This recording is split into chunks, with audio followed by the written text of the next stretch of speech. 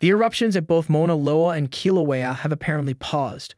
Officials have downgraded the alert levels for both volcanoes from watch to advisory and the aviation color codes from orange to yellow. On Mauna Loa, the lava supply to the Fissure 3 vent on the northeast rift ceased on December 10th, and the USGS Hawaiian Volcano Observatory says sulfur dioxide emissions have decreased to near pre-eruption background levels. Volcanic tremor and earthquakes associated with the eruption are also greatly diminished. We don't expect it to resume um, based on historical analogs for other rift eruptions of Mauna Loa. Um, none of them have ever paused during the eruption. And certainly the high effusion rate part of that eruption is definitely over with. But there is just a small chance that there could be a resumption, but we don't think that is likely.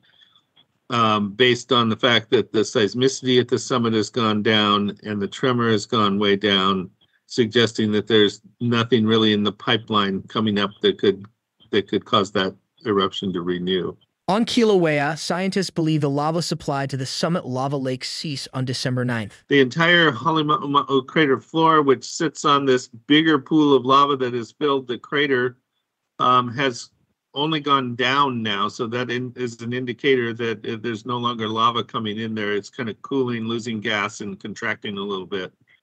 We do know that Kilauea has moved back towards Mauna Loa and extended. Some pressure has been relieved on it, and that's a possible one possible idea. Uh, but we've also been noticing that really since early in November, our seismologists have been tracking a trend to see that the tremor going in, into uh, Kilauea's eruption has been steadily decreasing.